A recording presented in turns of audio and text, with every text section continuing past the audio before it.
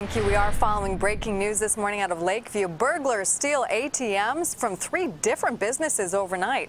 Our nonstop news crew show the scene at Around the World Tobacco at Belmont and Racine around 2 this morning. A bar and a liquor store were also hit. Police tell us in each case, five or six men drove up in three different vehicles, broke in, grabbed a machine, and put it in a white SUV before driving off. So far, no arrests.